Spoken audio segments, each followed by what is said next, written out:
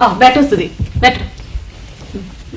दीदी जी मैंने तो अपने घर में फूलों के साथ साथ फल और छाया वाले पेड़ भी लगाए हैं। उनकी हरियाली बहुत अच्छी लगती है। हाँ। दीदी जी मैंने और मेरे दोस्तों ने मिलकर अपने पास पड़ोस में पेड़ लगा दिए हैं। इस, हमारे इस काम से सभी बहुत खुश हैं। सुधीर तुमने काम ही ऐसा किया है कि सभी को प्रसन्नता हो और वृक्षारोपण के प्रति तुम लोगों की जागरूकता देखकर मुझे भी बहुत खुशी हो रही है। दीदी हाँ? मुझे कैक्टस बहुत अच्छा लगता हम्म। है लेकिन वो मेरी क्यारी में चलता ही नहीं।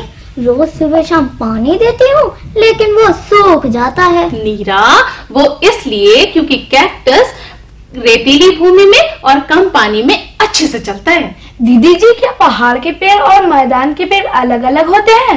हाँ हाँ प्रदीप पहाड़ के पेड़ और मैदान के पेड़ अलग होते हैं। और यही नहीं इनमें पानी और प्रकाश की मात्रा भी अलग अलग होनी चाहिए।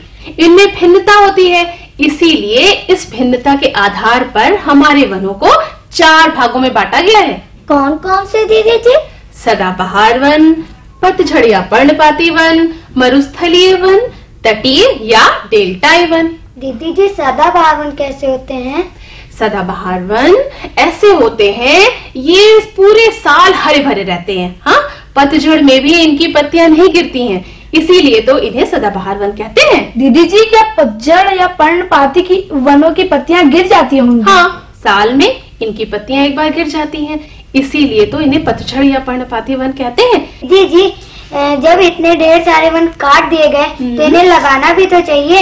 हाँ सुधीर अगर हम अपनी वन संपदा को नहीं बढ़ाएँगे तो हमारा पर्यावरण हमारी जो पर्यावरण है वो असंतुलित हो जाएगी जिसकी वजह से हम बड़ी भारी मुसीबत में पड़ जाएँगे। मेरे पिताजी कह, कह रहे थे कि वृक्षारोपण सौ अच्छे कार्यों से बढ़कर है। हम्म सुधीर। वृक्षारोपण ऐसा कार्य है जिससे हम सभी को फ़ायदा होता है और बहुत ही महान कार्य है।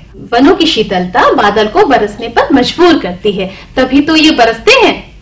और अगर वर्षा ना हो तो जल चक्र गड़बड़ा जाएगा। हाँ। कहीं बाढ़ आ जाएगी कहीं सूखा पड़ जाएगा। बिल्कुल ठीक कहा प्रदीप तुमने तुम तो बहुत समझदार हो। और पेड़ पौधों की जड़ें उपजाऊ मिट्टी को बहने से रोकती है।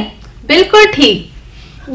जब वन नहीं होंगे तो शेर चीता हाथी भेड़िया लोमड़ी आदि जानवर भी नहीं होंगे। हाँ बिल्कुल ठीक कहा। और अगर ये नहीं होंगे तो चिड़ियाघर सूने सूने लगेंगे। हम्म प्रदीप ये जानवर चिड़ियाघर की रौनक ही नहीं बढ़ाते बल्कि पर्यावरण को भी संतुलित करते हैं। कैसे दीदी जी?